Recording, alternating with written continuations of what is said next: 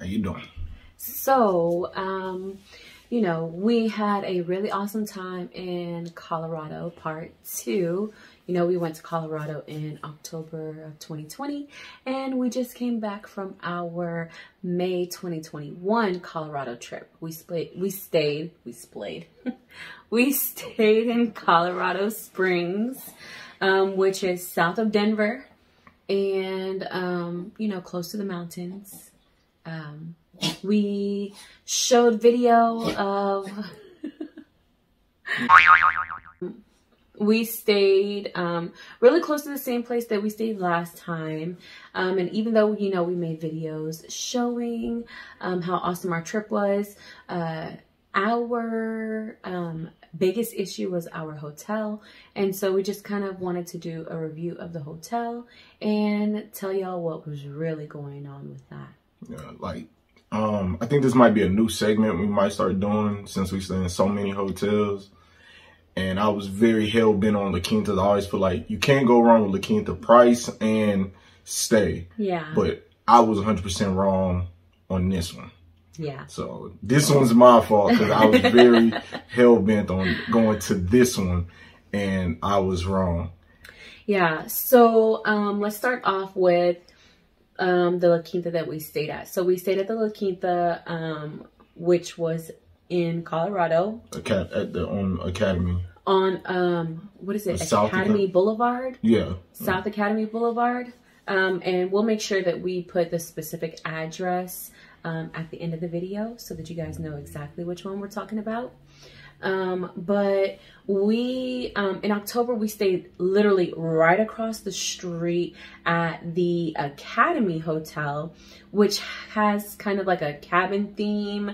Um, so it's a little, um, like older style, uh, but there was no issues. It was very clean. It was very friendly. They had a really big, um, like breakfast, um, hot breakfast to, um, serve to you. The staff was very friendly. Even though there were a lot of families with children there, it was still very quiet. People were very respectful. There was a restaurant inside too. Yeah, there was a restaurant, um, a bar, a pool.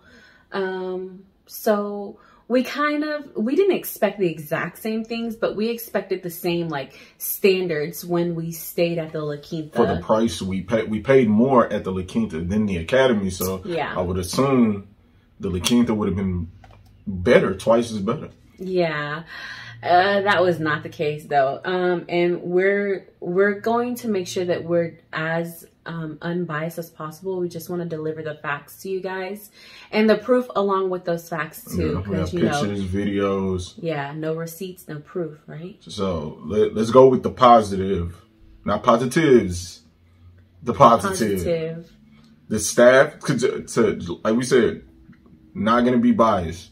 The staff, if you ask them, hey, I have something wrong with my room, they will move you. Yeah. They didn't argue. There was no problem. They asked you at, at the end of the um at the end of the stay, what could have what could they they have done better? So Well, she asked us how was our stay, and Oh. it kind of uh, changed around from there. But Yeah. keep going. But so to me, that was the positive at this. Yeah, the staff the staff wasn't an issue. Um, they were accommodating. Uh, yeah. Now, some of the stuff on our list, see, you can't even see that. Some of the stuff on our list didn't necessarily happen directly to us. But We- we did have family there with us. Um, so in total, um, including us, we had three rooms occupied at the La Quinta. Yeah, so some of it happened to us, some of it happened to a family member. And uh, when we start off in our room, the chair was broken. like, if you sat in it and tried to move, it seemed like the whole chair was coming off the, the stick.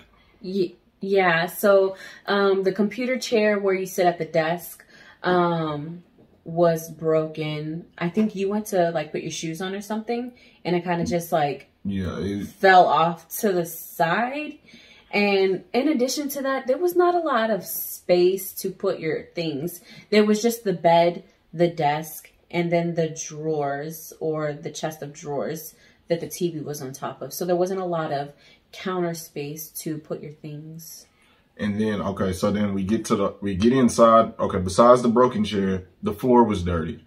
And then when I say stains, big red stains Like Kool-Aid stains, like on the floor. like a child had spilled like half a gallon of Kool-Aid. And it looks like there was crumbs on the desk. There was no It didn't look like there were crumbs on the desk and it uh you know, it after we go through this list just know we had to stop at Walmart and we had to get some Lysol and some Clorox wipes and some paper towels so that we could make sure that our room was comfortable enough to stay in because it was it was not up to our standards. And it's not like we have very prissy or high need standards, but you know, you you expect what you pay for. Um and And sometimes, like, like we're not picky. If it's one thing, there's no problem. If it's two things, there's no problem. Once it's three and, it, and it's a bunch, now I'm nitpicking. Like I found myself, We're gonna put everything underneath a microscope. yeah. Mm-hmm. Okay, so then I didn't see the handprints. So um, I saw the handprints. There were handprints on the inside and outside of the main door. Um, there were handprints on the microwave. There were handprints on the headboard, um, and it just it's if we if I was able to notice it as soon as we got into the room, I feel like the maintenance staff or the cleaning staff should have been able to see those things as well and take care of it before we even get into the room. Those are small things where all you have to do is just take a rag and clean it off, but they didn't do that. Yeah, and you know what? I forgot to put this on the list. The refrigerator was so loud. It was so It loud. was loud, Like I could hear it in my sleep. like, and it wasn't just in our room. My cousin's Yeah. room. It was just loud. So we unplugged ours because it was too loud. Yeah. Okay. Um, in my cousin's room, it's like a kid just ripped off a bunch of stickers and put them on the side of the the. uh Night table. Yeah, like it was just. I'm like, I'm There pretty like, sure four- maintenance saw this. Yeah, there were maybe three or four stickers on the side of the bed where it was just I don't know, it was weird. It was like the little tags that say like made in China or have like the barcode or like the price or something. Those little square stickers on the bottom of things. And it was just lined up meticulously on the mm-hmm. edge of the nightstand, in between the nightstand and the bed. Now, mm-hmm. if you would have made the bed, then you would have noticed those stickers there because we noticed it right away. Okay, now now we're gonna get to the good part. Oh, God. soon as we pulled up to check in, there was cops, ambulance, and a guy on a stretcher. While we were waiting, we see the police, we see an ambulance, we see them bring out somebody on a stretcher.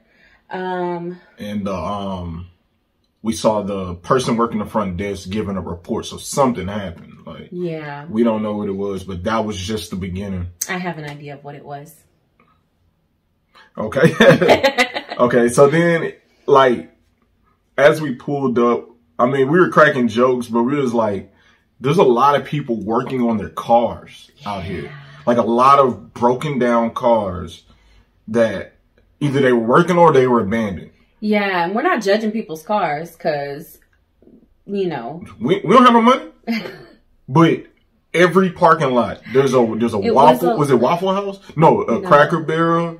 There was a like a or KFC. something. Uh, uh, uh, McDonald's, uh, taboo. The, the was it, I, I. Tandoori, Yeah, next to it, Urban Tandoori. abandoned cars everywhere. Everywhere. Everywhere you went, abandoned car, or there was people out there working on their cars. So here's the thing. I don't think that they were actually abandoned. I think that these were people that were staying in their cars, their trucks, their SUVs, um, their vans, and their RVs. Because, RVs, just and, they didn't Yeah. look nice. They they had uh, uh, sheets covering. Like it, I have a picture. I'm I'm gonna show you. Oh yeah.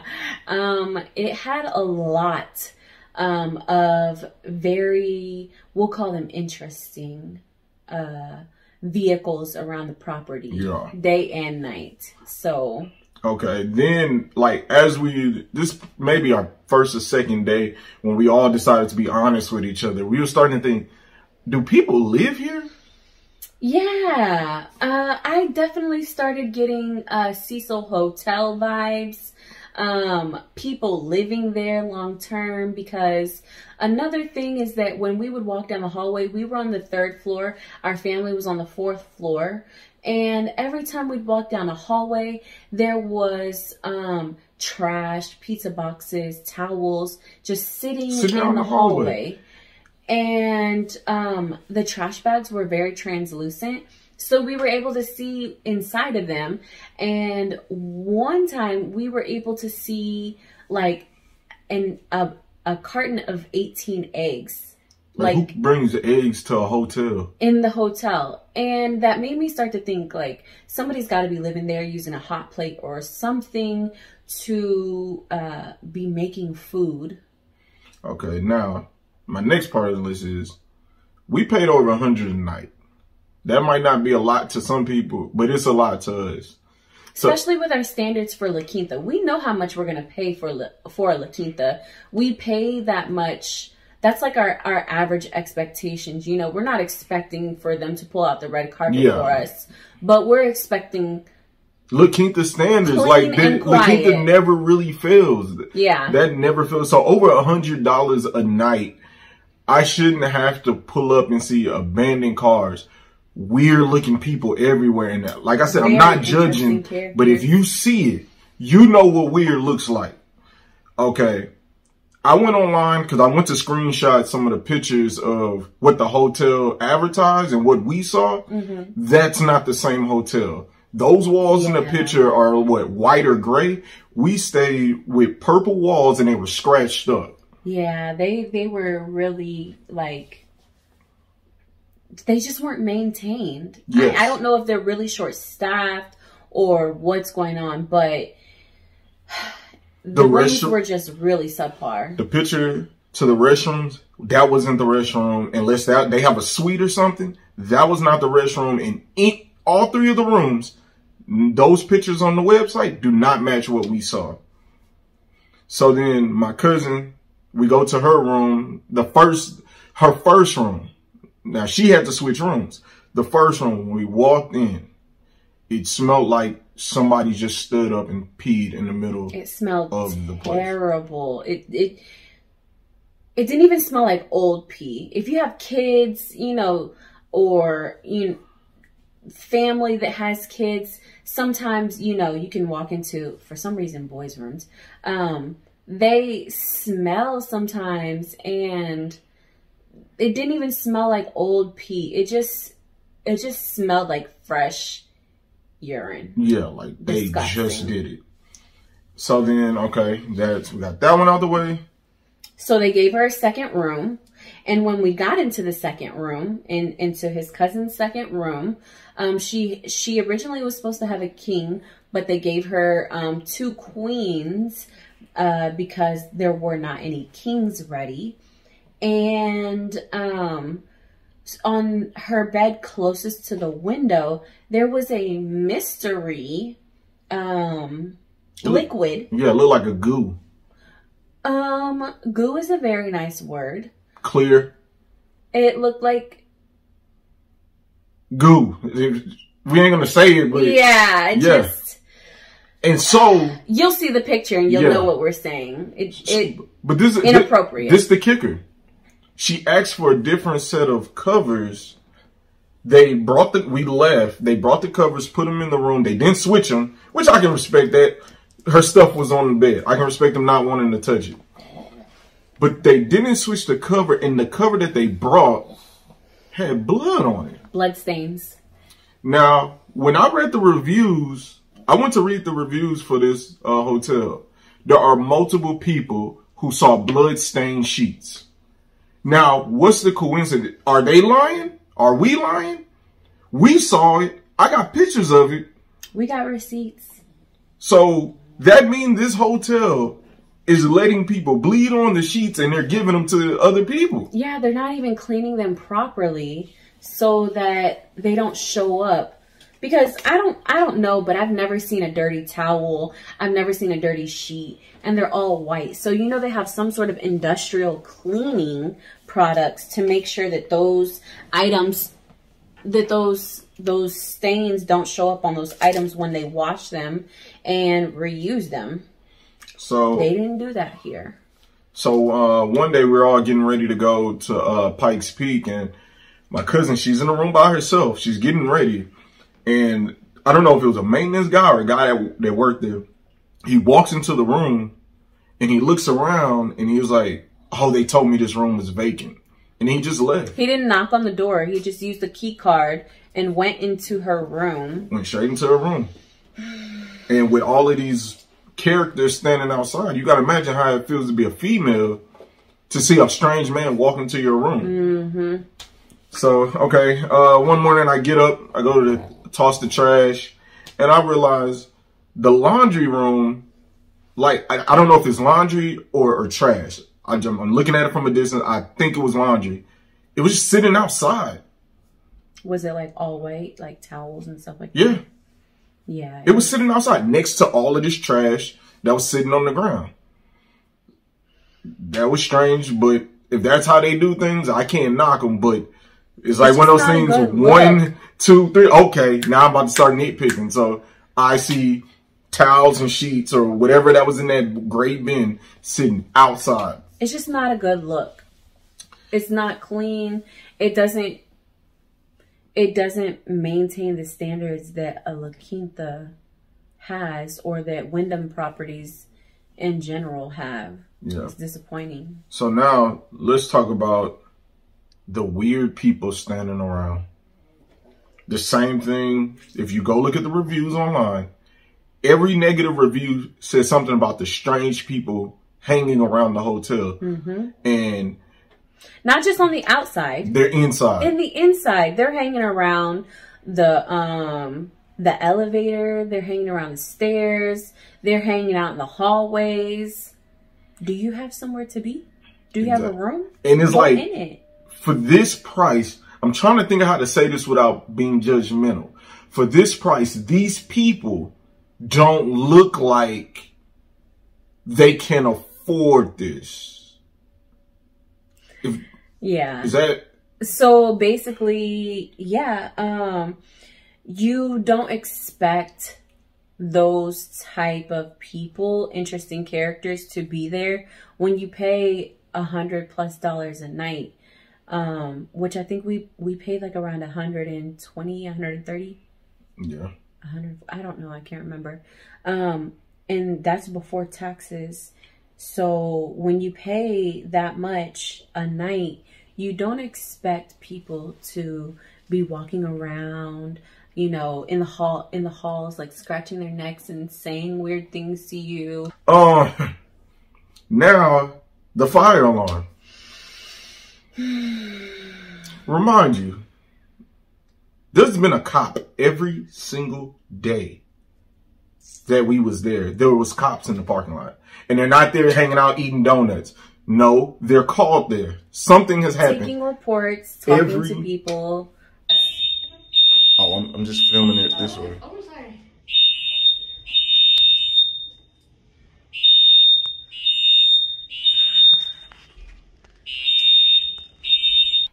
Oh, sorry. eight thirty in the morning, eight thirty in the morning, the fire alarm goes off, and it doesn't stop. Listen to this. What time is it? Too damn early. 8:30. It's eight thirty in the morning. This is what we wake up to. Listen to this. This hotel just keeps getting worse. At first, I thought it was just in our room. No, it's throughout the entire hotel. So we've got to jump up, make sure we got clothes on.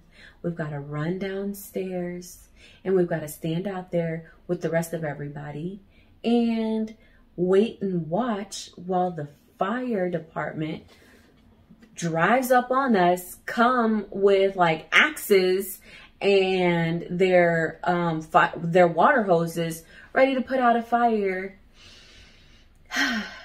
It was a lot, especially after seeing the police there and seeing all these people. You got a dirty room, lot. liquid on the sheets, blood on the sheets, and then now the fire department, like it just it, it just kept getting worse. Okay. Um It was terrible. And I was so angry. I'm still angry about it. I'm just going to be honest. and this was random. This is towards the end of our list, random. There was trash in the hallways. I know we said it before, but like, let's be more specific. There was pizza boxes in the hallway, Beer um beer, boxes. food, um, um, what was it? Uh, towels. When we first got Oh, to the yeah. fourth floor, there was a whole like pile of tiles. Pile. towels. towels. What yeah. Pile of tiles. Uh, Pile of towels. one take J. Uh, it was just uh sitting there like, where's the maintenance? Where's the, the cleaning people? Yeah. Do y'all not see? Oh, we Oh. saw them. We saw Oh, them they, you know, hanging out with their carts on their phones. I ain't just- going that far. I ain't trying to snitch on nobody. Oh, okay. I Well, ain't trying to snitch on them. I'm just saying the hallway was filthy. terrible. Disgusting. Random liquids. Like, there was also like splatter of something on the wall in his cousin's room. Yeah, my cousin caught the The worst of it. Yeah, she got. Uh, and I guess the mold in the bathroom. Me, I don't pay attention to stuff like that. I do. You notice the mold. Mm-hmm. And- but that was our stay, and you know, I'm not trying to trash the people at the front desk because they were understanding. So I don't want this. I want to be fair. I don't want to take this isn't taken out on them. This They is were- for the customer. Like the next person that decides that they're gonna pay over a hundred dollars to stay at this place. That is what this is for. It's not to trash the workers. Um, yeah, I I almost feel like they were accommodating because they expected. There were other people. I know there was some lady that um after the fire alarm, she just checked out. I I remember hearing her say like I just can't stay here anymore. And so they let her leave. They let her check out. I'm assuming they gave her her money back because there was no back and forth or issues like that. Um, I do want to say that I will um, be reaching out to a district manager or somebody else above the property manager um, to let them know of this situation and give y'all an update on that. Um, but they just have to do better. This was this is not acceptable. It was not okay. And had it had been just us, then I probably would have put up a fight and, you know, left that hotel. But it was us plus our family. and I've been bragging about La Quinta, so everybody was kind of following my lead, and I was wrong. I, I've always bigged up that brand, and I was wrong. Our room, the La Quinta, like I always say, I don't care about the Trump, I don't care about the Hilton, I don't care about the Bellagio, I don't care about none of that. It's all about the La Quinta. This hotel, if you're gonna spend over a hundred dollars, go right across the street to the Academy. Yes. You get a nice little like old fashioned log cabin feeling. Um, you get very nice staff. You get a nice hot breakfast, like a real assorted breakfast. That that's So- that's about it. Yeah, I mean, uh, yeah.